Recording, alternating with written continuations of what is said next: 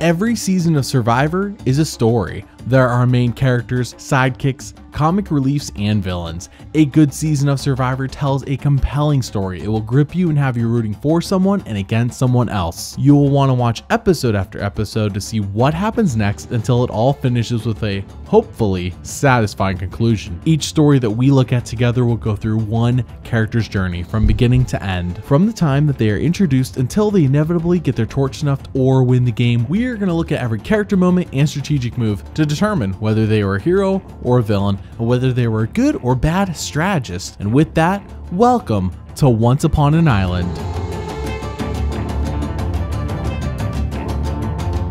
Now, for reference, we are only going to be observing what the TV show is showing us, or what stories being told through the show. No future seasons will be mentioned, as the story and characters here have no idea about what happens in those future seasons. All character moments and strategic moves are interpreted with the mindset of what the story is trying to tell us. And before we start, I want to thank you all for watching what I make and ultimately supporting what I do here with liking, commenting, and sharing. For only a few bucks a month on Patreon, you can pick what videos I make, watch all this channel's content early, chat with other fans of the show, and even get exclusive exclusive videos every month. With that, let's jump into another epic story. 39 days, 20 people, one survivor.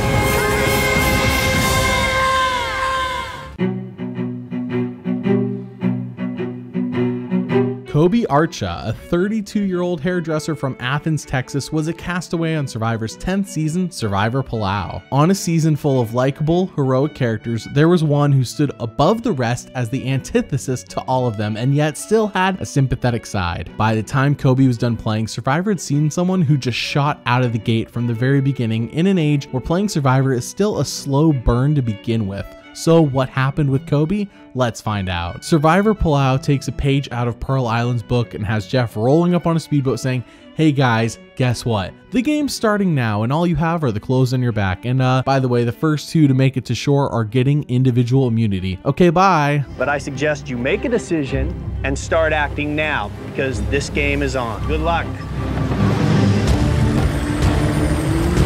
Pretty much as soon as Jeff is done saying this, Coby jumps up and seems like he may be willing to swim to shore already. If so, that would be a massive mistake as they are not even close to the shore. This game is on.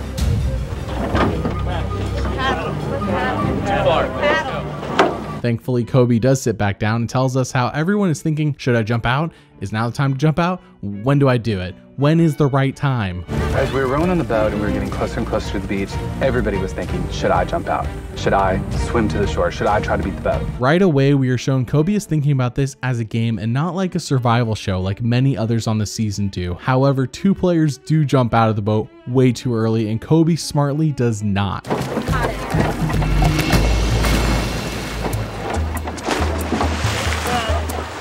After Stephanie and Jonathan jump out, Steph asks, uh, could I possibly come back in the boat? That would be really nice if I could. And Coby takes advantage of this easy joke opportunity. That's the dumbest thing I've ever done. Can we get off? Can we get back on? What are your names again?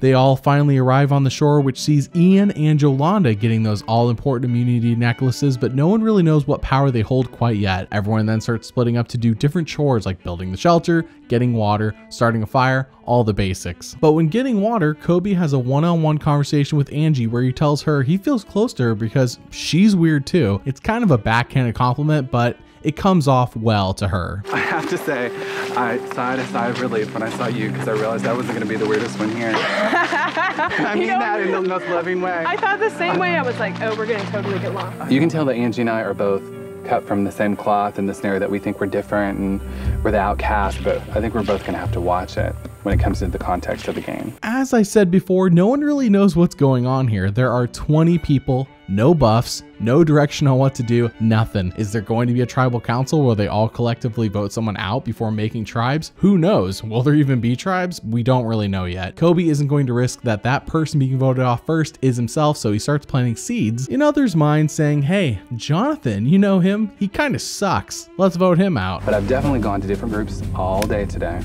and said, who are you to vote for? Really? That's interesting. What about voting for this person? What about Jonathan? And as long as I do it subtly and sneak it in there, I've been looking all over. you can change their minds. Because at this point, everybody doesn't want it to be them. Jeff Probst finally arrives on the beach, and what do you know? Ian and Jolanda get to pick their own tribes. However, only 18 of the 20 people will even end up on a tribe, and the two remaining people will not. So one man and one woman will not be selected. Thankfully for Coby, he does get selected to Koror. Jen, picking a guy, tough decision. Coby. Now, Coby gets to make the next selection for his tribe, and he has to pick a woman. And who does he pick? Karen.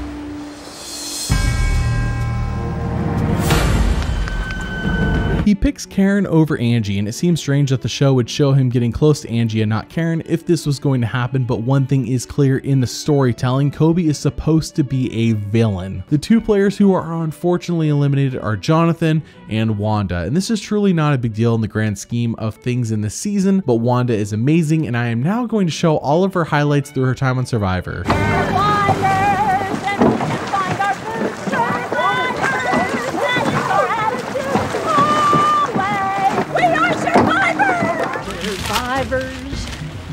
Gonna build a fort gladly. We are survivors! Survivors!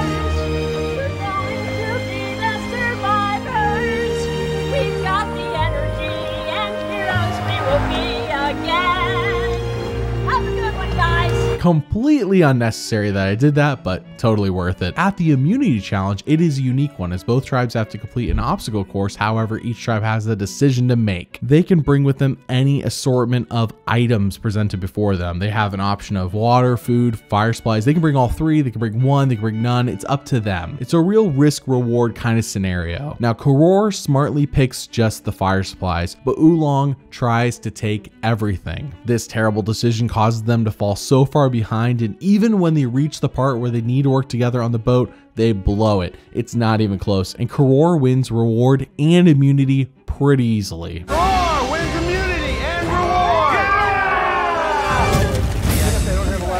Jeff then offers Koror an option stay at the camp they already built up with Ulong, or go to a brand new beach and start all over. For some illogical reason, Koror picks the new beach. You can either go back to what you know and the shelter you helped build, or this is a map to a new unknown beach where you can start fresh. Well, why see a beach we already saw? Let's go see something new. New? Yeah. let's have a new adventure. You're going to take your chances, Take our chances. give up what you know Yes, we are. for the unknown. On their way to the new camp, along with their BFFs, those fire supplies they won, something terrible happens. All of the supplies to make fire were in this heavy steel container that went straight down. And that is it for the premiere episode of Survivor Palau. It was a big one for Coby, and the amount of screen time he was given goes to show that he is going to be a central figure of the season and its story. What we have been shown is how he is smart, cunning, and has no problem being a villain to get his way. In other words, this will be a fun character for us at home. Every season needs someone who will play cutthroat no matter what others think, and that is shaping up to be Coby in the premiere episode. As long as he is around, there will be a fun back and forth with the hero characters of this story.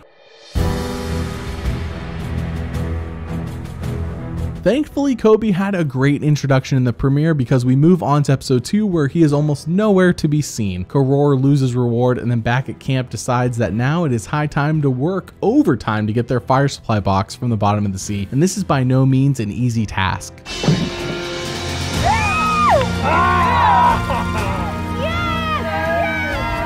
A group effort right there. I'm so proud of you guys. A good day, a good day. They do successfully get it though, and all's well that ends well as Koror goes on to win immunity again, keeping Coby safe.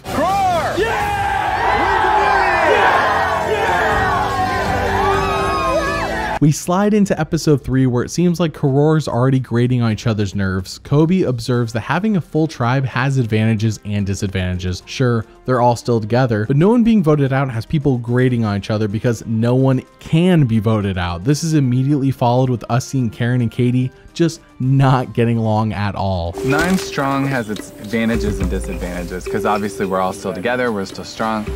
Yeah, I think people are grating our nerves even worse because you know you can't ever get rid of anybody. You know you're stuck with them. Because everything I say, you have some snotty remarks. I throw a freaking stick in the fire. You're like, Oh, they said don't throw a stick in the fire. Don't tell me what to do, Katie. You said the guy said don't throw a stick in the fire. The members said, like everything I did is on me. Get off me. Koror does go on to lose reward, but then they win the all important immunity challenge. That is three in a row, leaving Coby safe once again. Immunity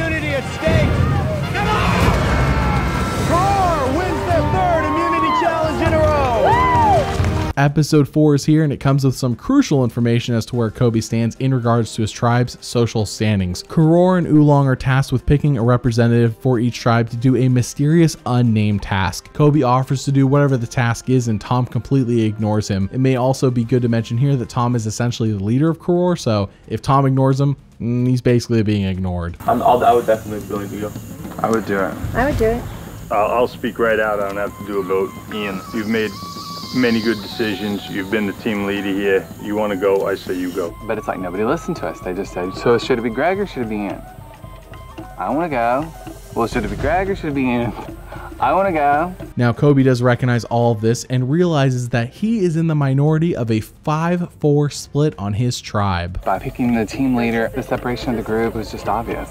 Katie, Jennifer, Greg, Ian, and Tom are one unit, so that makes five against four. Once we saw them all band together, it was obvious that we're definitely the underdogs here. As it turns out, the representative ends up picking tools for their bathroom building reward challenge, which Koror wins, and ends up having Survivor Production build them possibly the best shelter of all time. It is a major, major. Oh, it's huge. A tarp would have been a great reward. Yeah. Instead, we get a construction crew. At the immunity challenge, it's a sumo style competition one on one. You gotta shove the other person off the platform before they shove you off. In Coby's first matchup, he faces off against James, and Survivors ready. Go! Coby comes out strong. James is in! Coby wins! Koror leads 3-2. However, Coby has to face James once again. Will James learn from his mistakes? This time the tribes are tied up and whoever wins this matchup wins immunity for their tribe. So what happens? Survivors ready. Go! James comes on strong out of the gate. Coby, yeah! Coby trying to push him over with his shoulder. And he's got him! James is in! Koror wins their fourth straight immunity challenge. Koror wins immunity thanks to Coby, and this actually nets Coby some backhanded compliments from James later on in the episode about how much he respects Coby. feels terrible having have my butt whooped by a homosexual, you know? But a lot of gay folks are strong, man. They all working out at the gym and all, you know? Man, he's a hairdresser. He don't look like he's got any muscle tone. I ought to be able to whoop him. I tell you what, that boy right there has got some ass behind him. Life is good as we begin episode 5, especially for Greg and Jen, who are beginning super close. Funnily enough, this is the exact same thing that happened on Ulong with Jeff and Kim. Anyways, everyone is noticing and it is placing a target on their back since everyone's on high alert for another Rob and Amber. I mean, Jennifer had her hand on Greg's stomach, rubbing on it. I mean, it's very obvious. They gotta think we're stupid if we can't tell that they're together. At the challenge, Jeff pulls out a plot twist. Sure, we're playing for reward today, but no one is getting immunity as both tribes are going to tribal council no matter what. Win or lose, both tribes are going to tribal council tonight.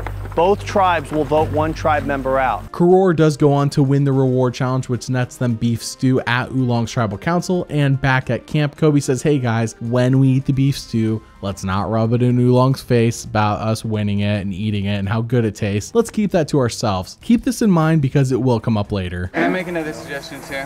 Tonight, we're gonna have to eat in front of them. Can we be nice about it and not giggle and We will, laugh and moan without- so much? Now that Koror finally has to vote someone off, it seems like everyone already knows who that will be.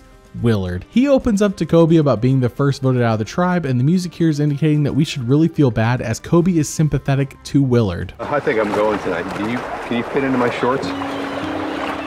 Oh, Willard. That made me sad. I could absolutely say with 100% certainty tonight will be Willard. However, he then immediately calls Katie worthless and would rather she go home over Willard, kind of cutting into the whole uh, nice moment we had. The only person pissing me off is Katie, but nobody will do anything about it. She doesn't do anything, and she's still here. I don't even care how far I get in the game, but if Katie gets further than me, I will just puke, puke, puke. But what is important here for Coby's game is that he knows he can't stop Willard from being voted out, and he doesn't want to be mean just to get his way. I don't have the numbers. I can't change those other people's minds. It's not going to happen. All it'll do is set me apart from the tribe. And like I said, it's a popularity contest. Finally, it seems like Koror is playing the game as the threat of being voted out is real, and Greg confides in Coby a secret plan to flip on Tom, Ian, and Katie to make a secret Final Four alliance with himself, Janu, and Jen. The main interesting thing that happened today was with Ken and Barbie. Greg basically told me that him and Jennifer want to make a secret alliance to the top four with me and Janu. If we wanted to, we could flip from the Katie, Tom, and Ian side to the Janu and Coby side. And we could start picking off who I perceive to be the bigger strengths in Tom and Ian. At Tribal Council, we finally hear the clearest explanation of how Coby is approaching this game of Survivor, which isn't perfect, but it is uniquely Coby. I don't care. I'm just being me. I am social. I am a butterfly. I do want to talk to everybody. So I just do it, and if that costs me the game in the end, well, so be it. Willard is then voted out in an 8 to 1 vote. Willard, the tribe has spoken.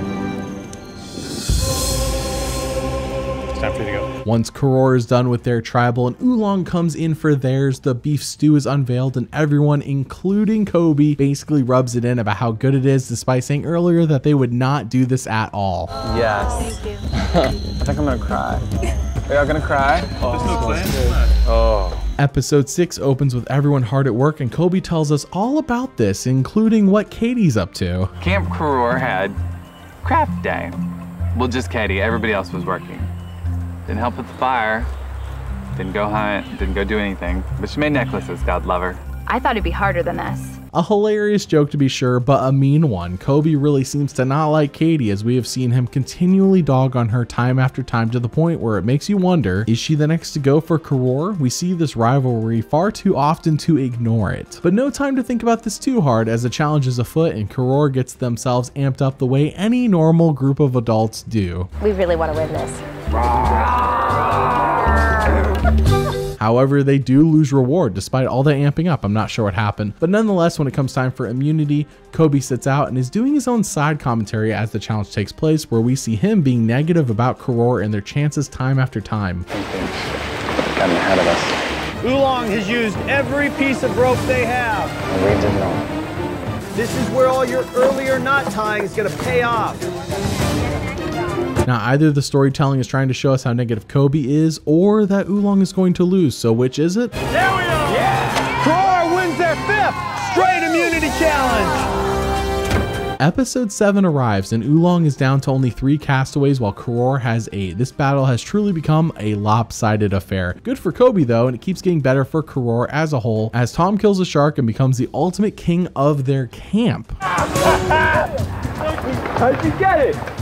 I hit it with the machete, cut it in half. Woo! So Tom went to here catching the shark. And so it's like, oh. The second he caught it, me and Greg both looked at each other and went. It's gonna be a little harder to vote him off now. At the reward challenge, we see once again Coby being a negative Nancy about Koror, and this is a trend that seems unfavorable for him unless Emerge is incoming, and he will be roping in Ulong with his other three minority tribe mates on Koror to become the majority, but we don't know for certain yet as Koror does win reward despite all this negativity from Coby. We could see what they were doing from here. I didn't see any smoke at all, and almost their whole plan was fire. So my fear, I think, might have come to truth that I don't know if they got the fire lit.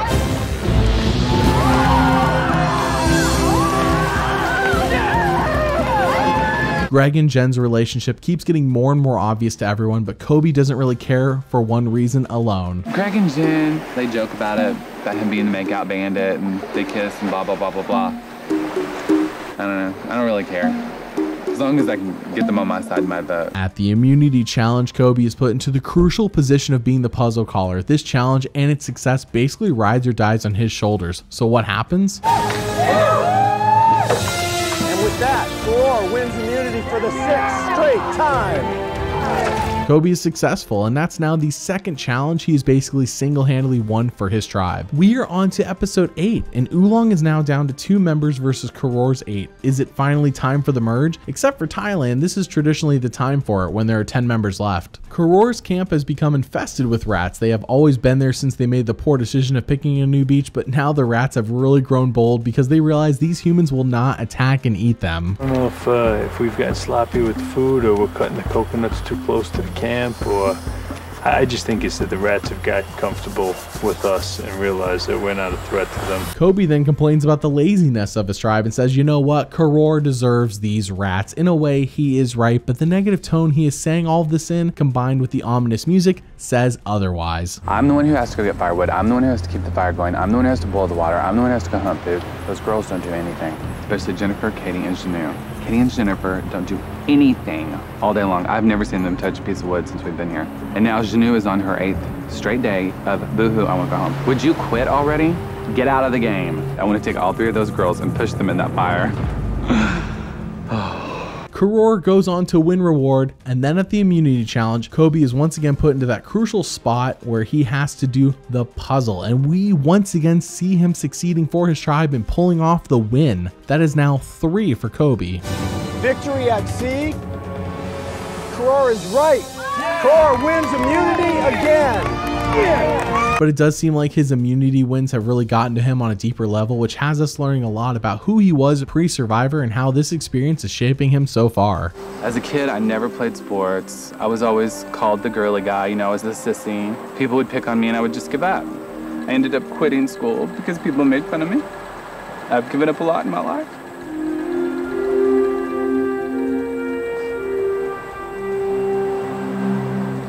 But I wasn't gonna let anybody make me quit this time no matter how hard it is. All in all, it feels like we are now being shown a side of Coby that we didn't see before. He's a bit sympathetic, and this is something that could have easily have been left out of his story to continually craft this villainous arc he has going, but instead it adds a much needed layer of complexity. Let's hope this continues.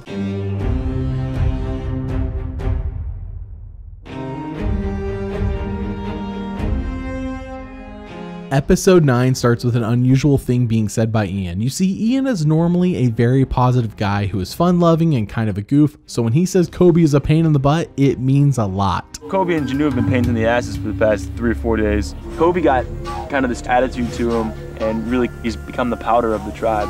And it's really getting annoying. So why is that? Why is Ian saying Coby's a pain in the butt when Ian is one of the most easygoing guys on this tribe? As it turns out, Coby has grown sick of everyone, and he made a decision on day 22 that will definitely not help his game in the long run. So on day 22, I decided, screw it, I'm not gonna bust my butt to keep these people in line. Mhm. Let us run out of firewood, let us run out of food, I don't care. It finally happens. Ulong is done, and the only remaining member left, Stephanie, comes to Koror to join their tribe.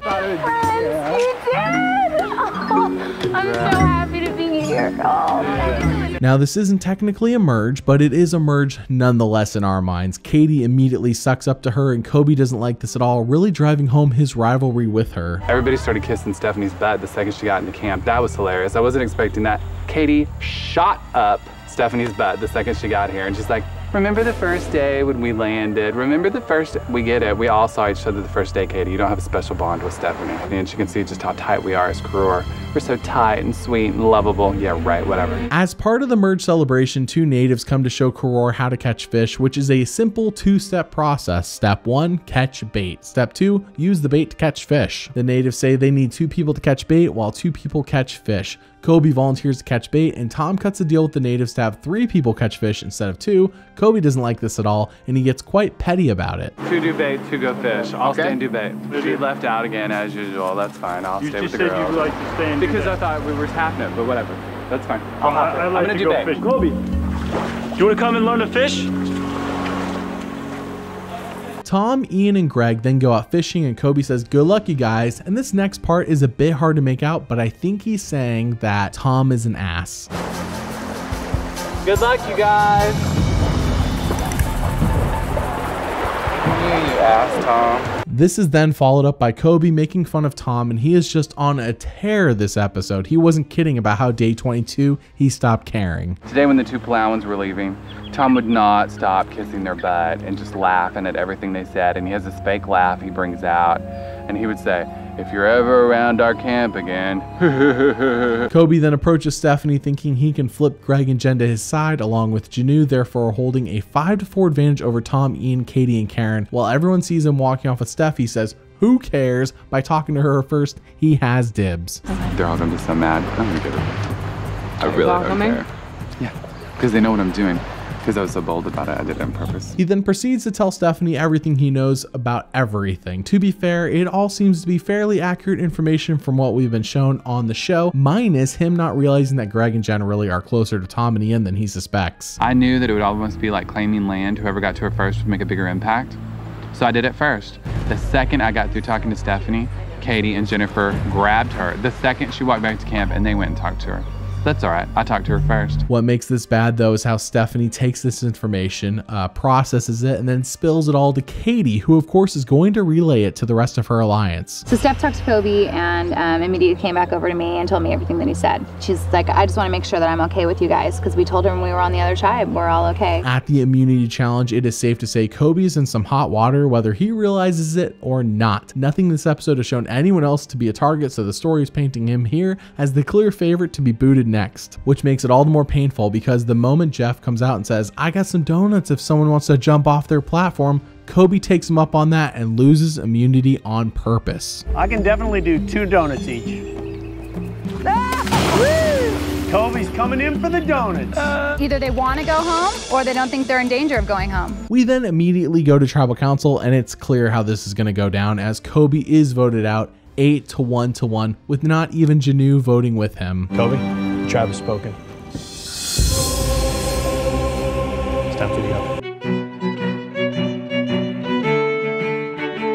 So let's break this down. How is Coby Archa as a character? Every season needs a good villain, and Coby was just that. He had a big personality, seemed judgmental, and played it off like he didn't care what others thought about him. On a tribe full of people trying to be heroes, Coby embraced who he is and had that extra layer of complexity that makes any villain someone who's just fun to watch. Now, he wasn't just a villain though, he was a person. He was sassy, funny, and told us exactly what he thought with no filter, and I wish every castaway had no filter when talking to us in the same way that Coby does. Then they could be as memorable as him. Out of 24 character moments shown on the show, 9 were heroic and 15 were villainous, making Coby Archa a villain character on Survivor Palau. Now, how is Coby as a strategist? I guess the easy answer would be he was good up until day 22, but I think we saw signs prior to that showing just how annoyed he was getting with his own tribe, even if he wasn't saying any of it to their face. This is the sort of thing that will be conveyed through nonverbal cues as well, no doubt, even from things we weren't shown here on the show. Despite this, Coby was a social butterfly when he wanted to be, and he could befriend anyone when he was being nice. If it weren't for a collapse in episode 9, he makes it at least a few episodes further than what we are shown. But it seems like maybe him showing how good he was in challenges combined with being the leader of the opposing alliance to Tom and Ian was creating too much of a target that just couldn't be minimized. When he was good, he was good, but when he was bad, it really just hurt his game. Out of 18 strategic moments shown on the show, 10 were smart and 8 were dumb, making Coby Archa a smart strategist on Survivor Palau. Now hold on a second, wait. What happened with Katie? Why was there all this buildup between him and her only to have him voted off unceremoniously? Well, actually, it is ironic as at final tribal council, Coby's the only person to vote for her to win over Tom, and even to this day, he doesn't regret this vote. I asked for honesty tonight, and I got it. But it wasn't from you, Tom. Thanks for watching, and if you like the content you see here, then please consider supporting me and this channel on Patreon. Your financial support makes all this possible, so thank you, and thank you for watching.